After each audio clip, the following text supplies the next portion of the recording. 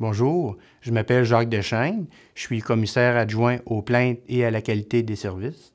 Les commissaires adjoints travaillent avec la commissaire aux plaintes et à la qualité des services afin de vous permettre de formuler une plainte ou encore d'exprimer vos insatisfactions si vous croyez que vos droits en santé et en services sociaux n'ont pas été respectés. Sur les soins reçus ou à recevoir, ainsi que pour connaître les résultats de vos examens et pour consulter votre dossier, qui est confidentiel, bien sûr. En tant qu'usager, vous avez aussi le droit de participer aux décisions qui vous concernent et faire des choix sur les traitements et les soins que l'on vous propose. Je m'appelle Manon Gariepi, commissaire adjointe aux plaintes et à la qualité des services. La commissaire et les commissaires adjoints sont là pour vous écouter et s'assurer que vos droits sont respectés.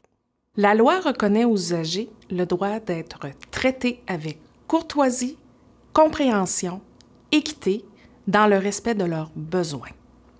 Il est important de savoir que tous les usagers ont le droit de recevoir des services adéquats sur les plans scientifiques, humains et social, avec continuité et de façon personnalisée et sécuritaire.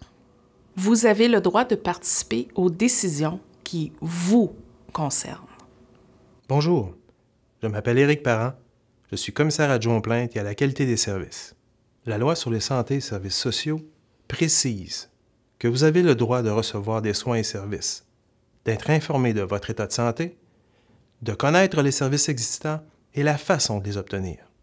Vous avez aussi le droit d'être avisé de tout accident survenu au cours d'une prestation de service.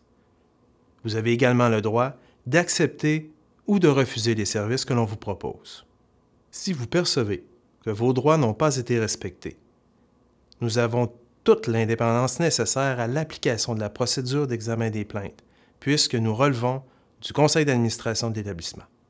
De plus, afin de respecter la loi, une plainte à l'endroit d'un médecin doit être traité par un médecin examinateur associé à notre équipe.